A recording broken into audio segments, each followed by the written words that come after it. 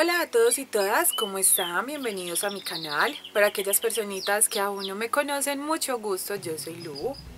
Y el día de hoy en este video quiero enseñarte cómo hacer esta calavera que es un poco pop art pero a la vez es una mezcla de muchos colores. Es como una combinación de diferentes cosas que al final queda muy muy bien. La verdad es un maquillaje muy sencillo de hacer.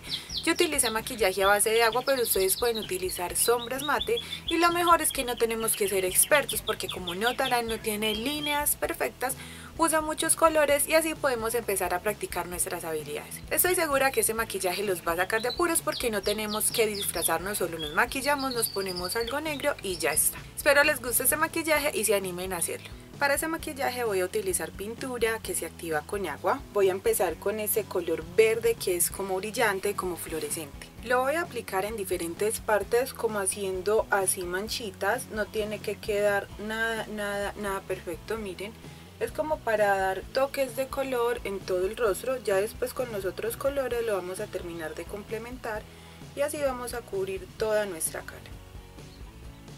Miren que ni siquiera estoy haciendo bordes perfectos es como si fueran unas manchitas muy muy muy muy muy desprolijas. La verdad son manchas muy muy muy muy manchadas porque no queremos que nos quede como tan perfecto y también que no se nos haga tan difícil dibujarlas También vamos a hacer manchitas en el cuello para complementar y que no nos quede solo el rostro. Si ustedes van a utilizar pintura a base de agua, les recomiendo que apliquen muy poca agua para que el color quede bien pigmentado. Por ejemplo, yo soy muy blanca, entonces no se nota tanto, tanto, tanto donde lo aplico. Ahora voy a tomar este color fucsia, yo quiero que el maquillaje sea más como en colores fosforescentes. Me voy a centrar en mucho, mucho en los colores vivos, en los colores vibrantes. Esta es una paleta de Meron, Meron. La verdad es muy muy económica, vale la pena comprarla. Si ustedes quieren adquirir una buena paleta a base de agua, esa es una muy buena opción, es muy económica y tiene una buena variedad de colores. Lo que más me ha gustado de esta paleta es que trae aloe vera y trae ingredientes para no lastimar mucho la piel. Entonces es una paleta que lo termina cuidando uno y que cuando se desmaquilla no siente esa irritación y no siente el rostro tan lastimado.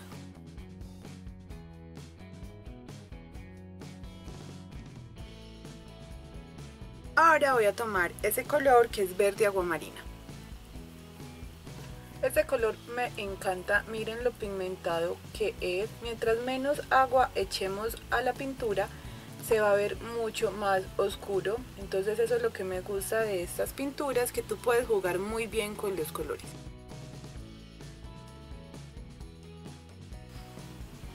Yo esta paleta la compré en Estados Unidos, acá en Colombia no la encontré, entonces yo la importé si alguna vez ustedes quieren comprar maquillaje pueden hacerlo porque es muy normal que en nuestro país no encontremos todo lo que necesitamos.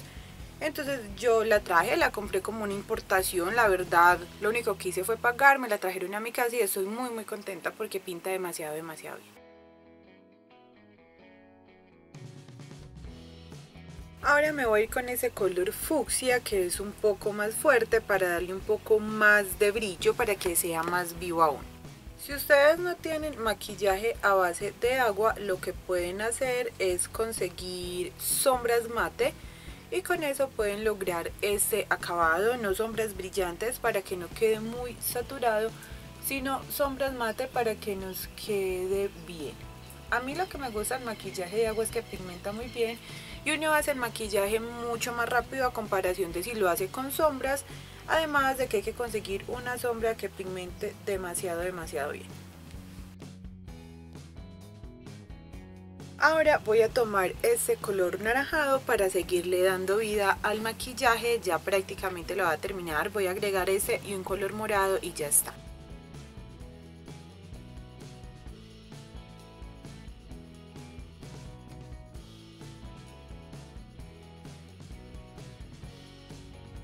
Último voy a terminar con un color un poco más claro y menos vibrante y es este morado que voy a aplicar en las zonas que faltan de mi rostro.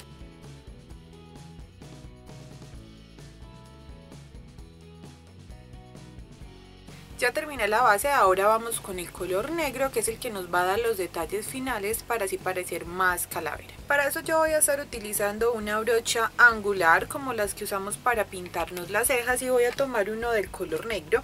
En esa paleta vienen tres colores negros y tres colores blancos porque son los colores que más utilizamos en tema de maquillaje artístico. Lo primero es que voy a marcar la parte de mis ojos, voy a hacer un círculo y como una ceja saliendo para simular el hueso que hay en esta parte.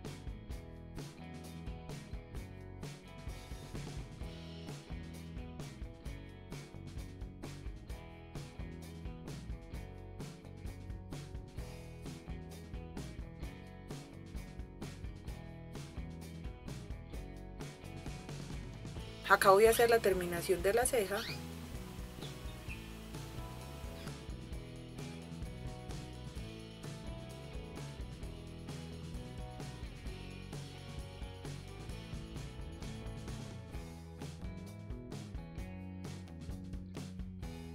Ahora vamos con la nariz.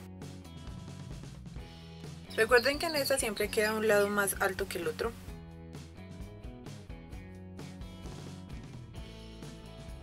También vamos a marcar los huesitos de acá, entonces lo único que vamos a hacer es una línea. La parte de los labios voy a pintar dentro de mis labios con negro y luego voy a hacer las líneas de los dientes.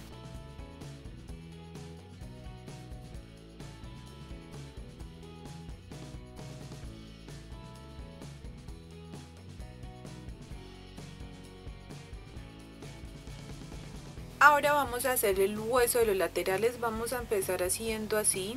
Si ven la forma es como si hiciéramos un... Es que no sé a qué forma se parece, pero ya me van a entender cuando lo dibuje.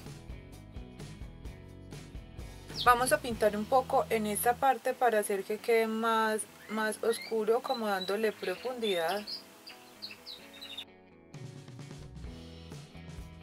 Y vamos a hacer como unas sombras en el cuello, miren, es muy fácil sacarlas. Volteen su cuello y donde este se marque las dibujamos.